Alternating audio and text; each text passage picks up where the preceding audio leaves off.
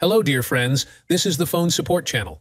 In this video, I want to show and tell you how to change the region in App Store. How do you change the region? Very simple. To do this, go to the App Store application. Now open the main page and click Today. Then click on your account logo. Then click on your Apple ID. Click. After that, you may be asked to confirm your account. I did this recently, so I don't need to do it. But you may be asked, confirm and move on. Now we need to find and select the item, country region. Click here. Now wait a few seconds. Here we can change our region. But there is a very important point.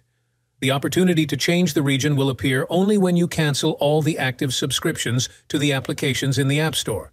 Even one subscription will prevent you from changing the region in the App Store settings.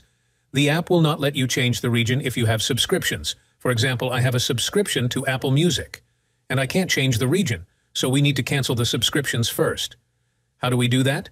To do that, we go here again and choose Subscriptions. Click on this item, and here we can see all the subscriptions to which we are subscribed on our iPhone.